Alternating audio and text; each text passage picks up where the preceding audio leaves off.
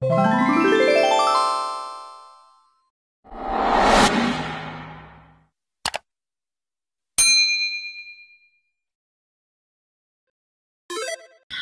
semuanya, kembali lagi di channel YouTube aku Idapar. Jadi di video hari ini kita bakalan cek top 10 produk yang lagi laris banget di TikTok. Nah, ini tuh kayak bisa bikin untuk rekomendasi kalian juga kalau misalkan kalian tuh bingung mau share produk apa dan mau jualan produk apa. Kita ke profile dan kebetulan kayak teman-teman nih yang punya beberapa akun jadi contohnya kayak aku aku punya tiga akun. Nah aku pun sama cari referensinya itu di sana. Jadi kayak hari ini mau update produk apa ya? Terus emang produk apa sih yang lagi booming? Kemudian kalau misalkan mau pengajuan sampel atau misalkan mau beli produk untuk sampel kan kalian juga harus cari referensi dulu.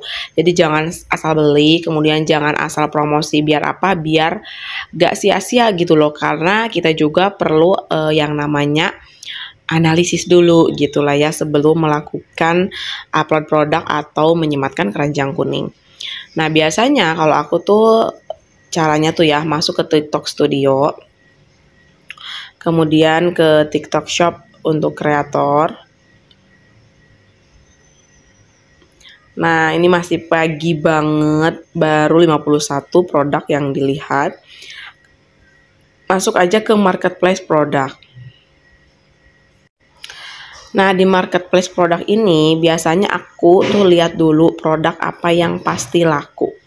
Nah, yang pasti laku di sini udah jelas dia produk yang banyak di CO.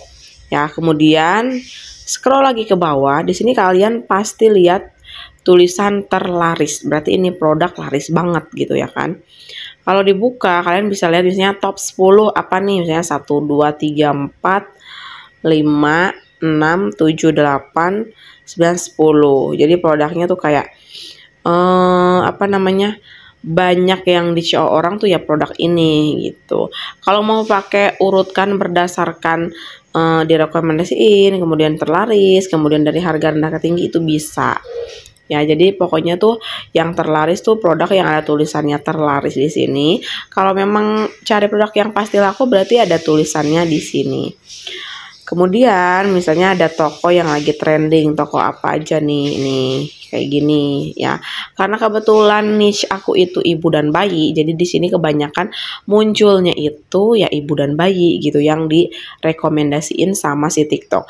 Tapi tenang aja kalau kalian niche-nya itu misalnya kosmetik atau kayak misalnya skincare, itu nanti di beranda sini tuh misalnya produk yang terlaris dan pasti lakunya itu di apa namanya direkomendasi ini ya mendekati skincare kayak gitu. Jadi memang sesuai niche gitu. Nah, ini misalkan ibu dan bayi nih yang lagi trending apa yang lagi ter terlaris tuh apa? Kalian bisa lihat top 10-nya di sini. Ya, jadi kayak oh ini top 10 untuk ibu dan bayi itu peralatan ini loh gitu kan. Untuk gaya hidup top 10-nya itu nih timbangan dapur, kotak penyimpanan kontainer, kemudian botol minum stainless, terus ada lagi paket isi mangkok, kemudian satu set food container, dan pupuk tanaman. Ini bisa dijadiin top 10 dari produk gaya hidup gitu. Pakaian dan wanita apa ya? Pakaian sorry, pakaian dan pakaian dalam. Nah, terlarisnya ini tuh di sini ada campur ya. Karena di sini uh, pakaian wanita dan pakaian dalam jadi di sini udah campur dengan pakaian dalam tuh. Di sini ada daster, rok, kemudian BH dan lain-lain ya. Jadi top 10-nya bisa ambil di sini. Untuk olahraga dan uh, aktivitas luar ruangan, di sini ada baju renang, kemudian mini bis kurs mini bes, kursi lipat camping, celana dan lain-lain. Jadi tergantung dari subkategori di sini. Nah, jadi memang kalau misalkan pengen lihat produk yang terlaris dari sub-sub yang apa namanya khusus kalian bisa klik aja di atas sini kalau mau lihat makanan dan minuman yang lagi trending apa garam nih garam lagi terlaris ya kemudian ada juga Grandfield untuk abon sapi dan lain-lain ya. Pokoknya tuh bisa dilihat dicekin.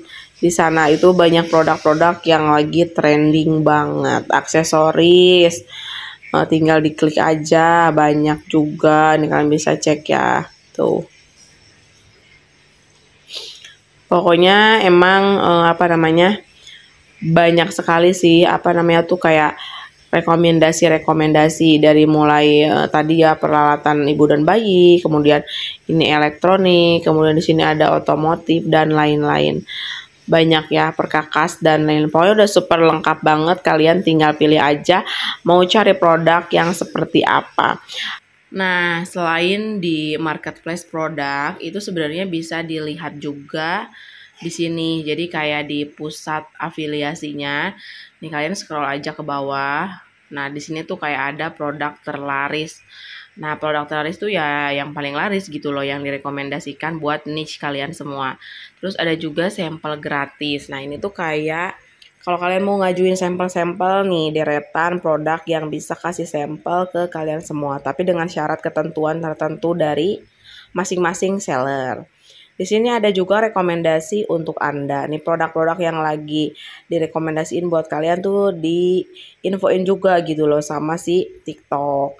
Nah, seperti itu ya kalau misalkan mau tarik kesimpulan misalnya uh, top 5 misalnya top 5 tuh kayak produk uh, 5, 5 produk yang terlaris banget gitu loh. Bisa juga ditarik kesimpulan seperti itu.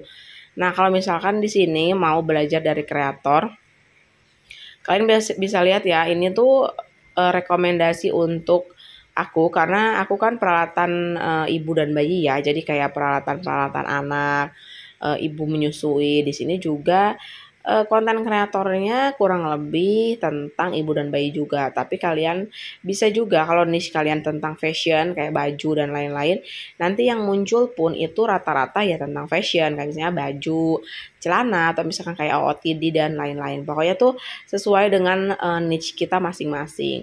Nah, seperti itu ya. Jadi jangan bingung kalau misalkan mau cari produk, produk apa nih yang lagi uh, bingung apa yang lagi booming gitu atau produk apa sih nih yang lagi uh, rekomen gitu loh untuk dibuat uh, video dan misalnya untuk dibuat konten gitu seperti itu ya. Oke guys, jadi itu dia video dari aku untuk hari ini. Semoga bermanfaat. Buat kalian yang belum paham, boleh langsung komen aja. Plus, jangan lupa juga like, comment, subscribe di video channel YouTube aku. Dan jangan lupa juga follow akun aku yang ini ya. See you on my next video.